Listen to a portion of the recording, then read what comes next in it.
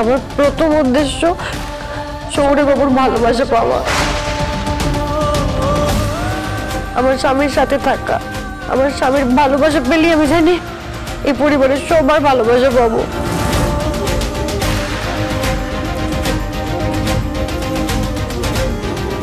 এই পরিবারের যোগ্য বউ হয়ে উঠতে পারব।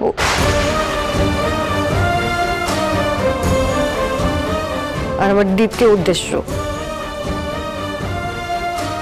আমার বোনের খুনিকে খুঁজে বের করা হরি ওম তৎসৎ হরি ওম তৎসৎ হরি ওম তৎসৎ